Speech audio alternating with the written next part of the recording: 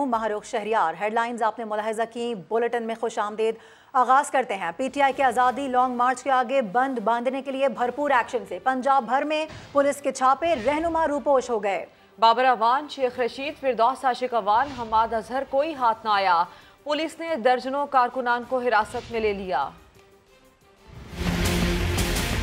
Islamabad long मार्च खूनी होगा खूनी होगा। तो मेरी बात सुन लो, मैं तुम्हें घर से नहीं निकलने दूँगा। घर से नहीं निकलने दूँगा। घर से नहीं निकलने दूँगा। हुकूमत